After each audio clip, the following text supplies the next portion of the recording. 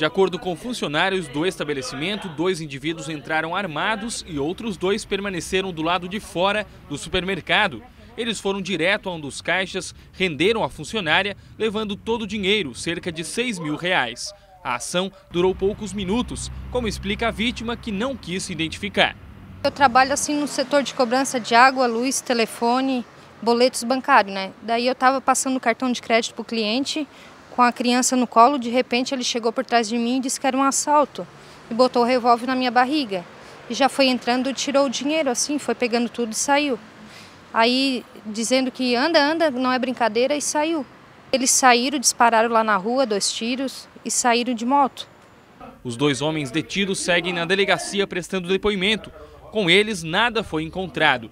A polícia ainda continua na busca pelos outros que participaram do crime.